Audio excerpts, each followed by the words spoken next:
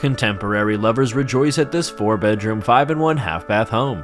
Enter the 2 story foyer and head to the 2 story living room with marble floors and a fireplace. The gallery with skylights and walls of windows brings the outdoors in. Indulge in the culinary arts with a gourmet eat in kitchen. Relax in the family room, the music room, dining room, the library, the office, or the study. Host gatherings in the garden walkout level, which includes a kitchen and a third fireplace. Look out over the beautiful yard with a babbling brook on the deck. See it today with Dalia Coleman.